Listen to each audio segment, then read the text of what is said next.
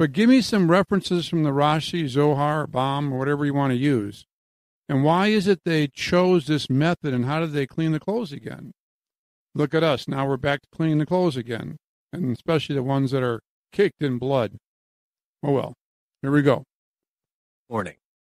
I see you're delving into some profound aspects of traditional practices and their symbolic meanings, bridging ancient rituals with modern interpretations and even popular culture. Your comparison to Indiana Jones and the concept of sacred objects not leaving a designated holy space adds a vivid layer to understanding these traditions.